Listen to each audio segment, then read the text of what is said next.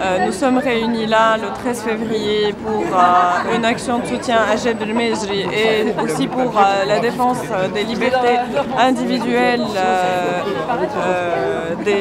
de tous les Tunisiens la liberté d'expression, de conscience, de pensée, de tout ce qu'on veut.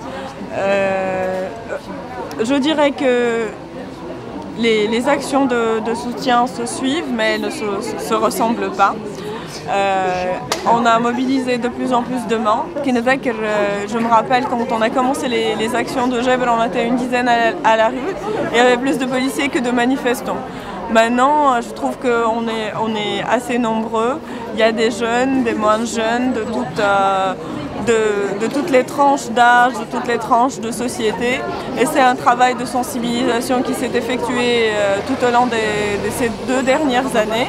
Malheureusement, même au bout de ces deux ans, Gebre est encore en prison, malgré toutes les pressions, malgré que grâce à un travail euh, de la société civile et la mobilisation du comité, euh, on a pu faire adhérer à la cause de Gebre euh, toutes les, toutes les ONG de renommée. On a Amnesty International qui a fait déjà plusieurs actions sur un plan international.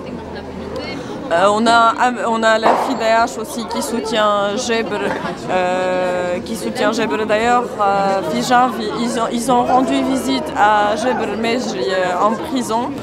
Il y a eu des, des communiqués en faveur de Gebre de la part de Human Rights Watch, de Human Rights First, de, de la Ligue tunisienne des droits de l'homme tout ce travail-là, il, a, il, a, certainement, il, fait pression sur, euh, euh, sur le gouvernement et sur la présidence pour, euh, la libération de Gebre, en espérant que, notre voix soit, entendue et que, que la libération de Gebre nous parvienne incessamment sous peu. En fait, tout au début, Gebre était avec les prisonniers de droit commun. Il était maltraité. il, vraiment, il avait, il avait du mal à dormir. il était vraiment maltraité en prison. grâce à une action de lettres qu'on avait faite euh, avec euh, Amnesty avec euh, les jeunes Tunisiens. et ça a permis que déjà, ils ont changé de cellule, il est beaucoup mieux traité et tout le monde en tout cas lui accorde de l'importance parce que Gebre est devenu le symbole de la liberté d'expression Fitoun. C'est notre premier prisonnier d'opinion après la révolution. Et je, crois que cette pression-là, elle permet de faire bouger les choses où je suis sûre qu'il n'y a pas d'autre moyen pour faire libérer Gebra. Il faut de la pression et la pression de la rue. Ça met d'autres moyens. Tous les, tous les moyens administratifs ou légaux ou faits, on dépend uniquement de la grâce présidentielle pour le cas de Gebra. Et c'est la pression de la rue qui fera la différence. Merci. Nous, on continuera le combat. Geber doit être libéré.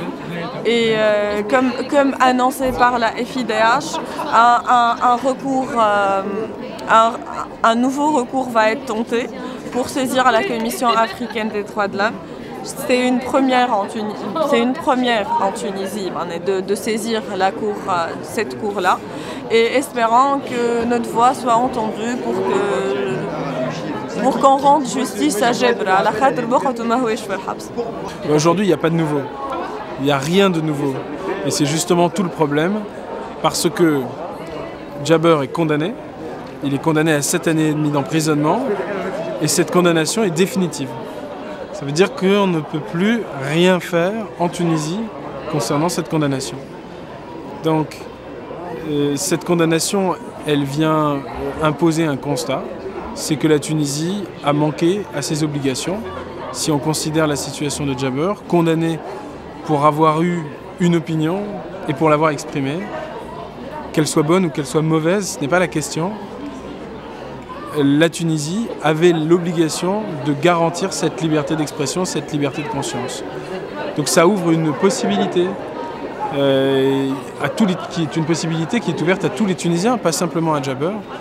Euh, cette, possibilité, c'est de se prévaloir de la Charte africaine des droits de l'homme et des peuples, qui est un, texte formidable, qui consacre un grand nombre de libertés et qui permet à Jabber d'aller réclamer que justice lui soit rendue, car la Tunisie a manqué à son obligation de garantir sa liberté d'expression et sa liberté de conscience. Pour dire que la liberté d'expression doit être garantie en Tunisie.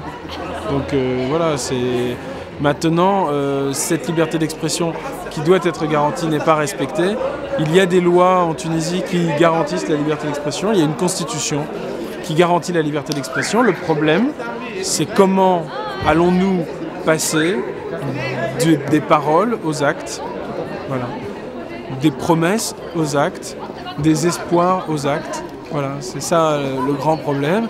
Et je pense qu'il faut que euh, la société civile, les gens euh, qui participent à ces, à ces ateliers comme le comité de Jabber, se rendent compte du rôle qu'ils jouent effectivement pour tous les Tunisiens, pas simplement pour un homme, euh, mais pour tous les Tunisiens, pour que cette liberté d'expression soit effective et non plus seulement promise.